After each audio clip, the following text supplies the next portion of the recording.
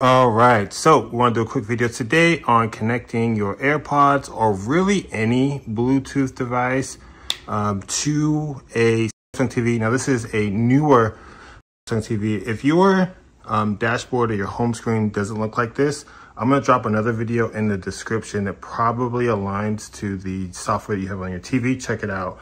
But if your home does look like this, let's walk through how to connect your AirPods or really any other device to uh, this LG TV. If this helps, like the video, subscribe to the channel. Really easy way to support what we're doing here and I appreciate it. All right, so with the TV on, we need to open up the settings menu. We can either uh, hit that settings icon up there or hit the settings wheel on the remote. So that's gonna open up a menu over here. We're just gonna scroll down to all settings there. And in all settings, we're going to scroll down to the sound section there. And here we'll open up sound out.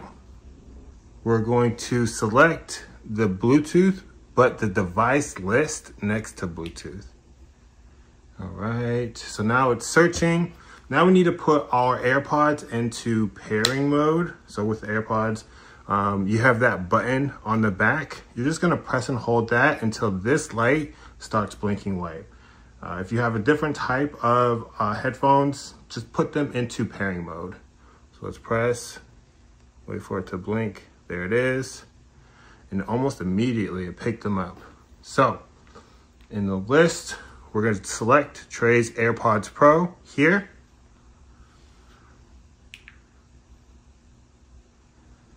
And now that is a registered device and they are connected. All right, so I had to do a little bit of troubleshooting here because my headphones, they kept um, disconnecting. They kept going back to the HDMI arc that is my Sonos soundbar here. Uh, for whatever reason, there was a little bit of turbulence there. But what I did was I just disconnected the soundbar from the TV. You can see the HDMI sticking out right there.